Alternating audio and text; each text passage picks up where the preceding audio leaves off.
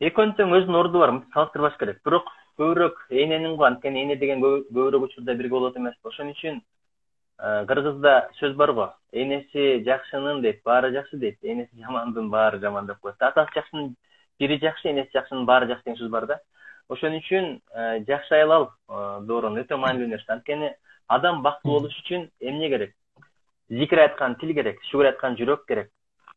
Кыйынчылыкка сабыр кылган дене керек.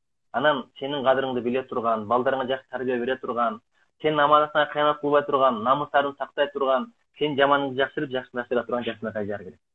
Ошон үчүн үйлөнгөндө жалаң эле азыр жоолугун карай бербей анткени жоолукчан болуп алып туруп кээде бир адепсиздик кылгандарды көрүп атпайбыз.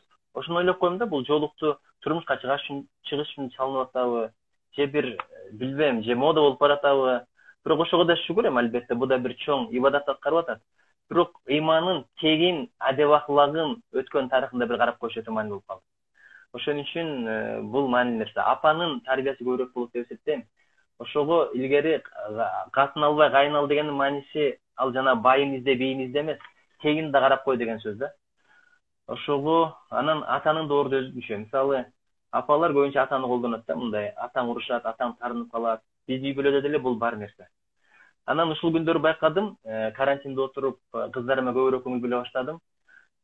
Балаңа оюнчук алып берсең бат эле тажап кетет экен э, шоколад алып берсең аны бат эле жеп коет бирок берген убактыңды бала унутпайт экен да. Канчалык убакыт берсең ошончолук мээримиң сиңип бала сага жүрөгүн бере баштайт экен жүрөгүн ача баштайт экен. Мурда менин балдарым кыздарым кичинекей кызым мага келбейт эле ушул карантин күндөрү апасына барбай калды.